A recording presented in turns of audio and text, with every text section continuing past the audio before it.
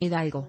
Un maestro es investigado por atar a un niño de preescolar, tomarle una fotografía y compartirla por WhatsApp.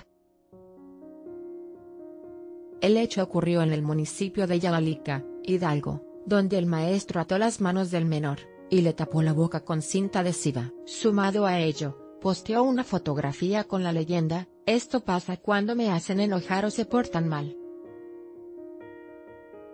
La agresión al infante, de 5 años de edad, causó indignación entre los padres de familia del preescolar Yoloquitville. Estaba dentro de la escuela, pues, ahí estaba amarrado y me dio mucho coraje y miedo, porque, este, es como si estuviera secuestrado, así como lo vi, dijo la madre del menor.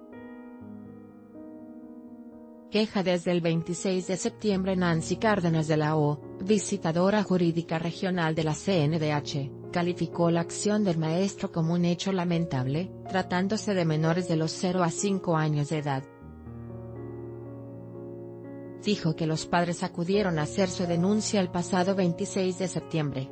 Dado de baja el profesor fue sustituido de plantel preescolar por la CONAFE, Consejo Nacional de Fomento Educativo, pese a señalar que amarró al menor porque estaba jugando con él.